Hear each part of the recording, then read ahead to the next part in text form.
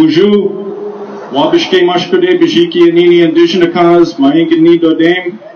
My name's Steve Hapy. I'm with the uh, Tacoma chapter of the Leonard Peltier Defense Offense Committee. I'm a Anishinaabe descendant from the Fond du Lac band of Minnesota Chippewa. But I've lived out here all my life in Tacoma.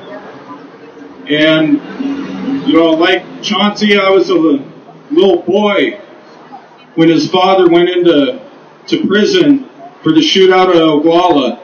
And I can remember Wounded Knee on TV when I was a little kid. You know, a little child the size of these children you see around us. I remember feeling terror. You know, nowadays the word terrorism is thrown around really easily. It's used to, to accuse people that defend the land and the water in a non-violent way. Those people are being accused of terrorism. Our Indian people that are trying to defend reservation and reserve lands with idle no more, they're getting that finger pointed at them. But I'll tell you, being a little child and seeing the military on TV, the military coming after Indian people on television as a little child, knowing that you're an Indian and wondering if the, the, the army's going to come after you. That's pretty terrifying. That's terrorism. So, I just want to give thanks to the uh, all the, the people of the, the Puyallup Nation and all the people that traveled from all over to come here today. People came from California, Oregon, came from BC.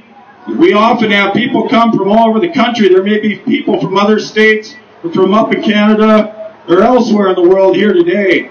I just want to thank everyone for being here today all the different tribes, all the different nations of people that came together for supporting Leonard Peltier's clemency. I want to give thanks to all our drummers that came today and all the, the Idle No More people that came out today. Is it, all of our struggles are tied together. You know, it was the energy companies that basically gave the orders to the FBI to terrorize the people of Pine Ridge through that goon squad to terrorize the people, the traditional people that wanted to protect the land and water. I mean, who in their right mind is going to give an energy company the right to mine uranium on your land and toxify your aquifer? They're destroying our waters. They're doing it today. This wasn't just in the 70s. It's happening now. It's continuing to happen all throughout Canada. We need to defend the land, the water, and our, con our continuing connection to the land and water. Whatever our nation, all of us have a common ancestry with the earth. It's mindless to put toxins into your water. Don't toxify your air. What, what is anybody thinking that goes along with that willingly? So all of us need to come together and stop the XL pipeline, stop the coal trains from coming through, stop the fracking, stop all of these different violations of our right to have life, violating the rights of our plant and animal relatives that we're dependent on. We're not superior to them, we're dependent on them. Think about your actual connection with the living world. And that's why Leonard Peltier is in prison. It's because those energy companies, the same ones that are working to destroy our communities today, were working to destroy Pine Ridge in the 70s. And Leonard Peltier took that call and went there and ended up getting set up in the situation that has him in prison today. So right now, we're asking for everyone to take part in the Letters for Leonard campaign. You can find this online. And uh, I passed around flyers just a little while ago that have the address to send it to. Also, please continue to send letters of support for Leonard Peltier's executive clemency from President Obama. Send those to the White House. Make the calls to the White House on the, the uh, White House comments line. They have a fax number. You can find all that contact information online.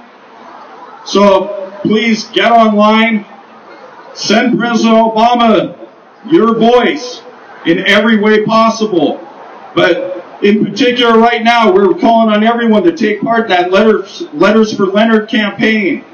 You can also educate yourself more on the case with this book, The Spirit of Crazy Horse.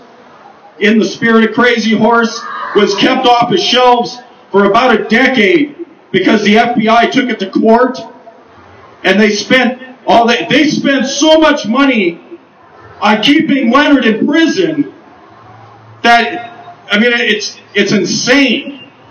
The amount of people that could be fed and clothed with the amount of money from your tax dollars that goes into keeping this man unjustly in prison. But we have this book today. It's on shelves. You can buy it online. You can find it in used bookstores. You can buy it through the Defense Committee.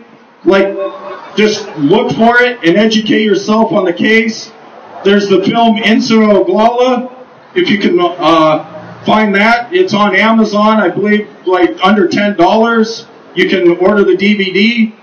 You can probably find a copy of Warrior by, uh, I believe her name was the filmmaker's name was Bear, like last name. But uh, there's a film called Warrior, a really good document, a documentation on the malfeasance of the FBI and their connection to the energy companies. So I, I ask everyone to please, after this event, go home and write those letters. Write those letters and send them. We need those letters. The, the purpose of Letters for Leonard is so that we can have physical, you know, a massive physical letters and postcards to hand over on camera for the media so people can see the mass of support that there is for Leonard's clemency. This needs to happen. He's not just a, a figurehead or a symbol. He is a symbol of all the oppression and the just the, the malfeasance of the government. But he's an actual living human being that's been in prison since I was a little child for a so-called crime that he never committed. Two other men were acquitted for the exact same situation that he is in prison for today. They were acquitted on grounds of self-defense. Bob Robideau and Dino Butler got a fair trial for the same incident, and they were acquitted on grounds of self-defense. Think about that. Every bit of evidence that was used, every single bit of evidence that was used to convict Leonard Peltier in his trial has been shown to be fabricated or coerced. And yet they keep him in there. We have to speak out. We have to contact the White House and let them know we're not going to tolerate that. We're not going to let them terrorize us anymore.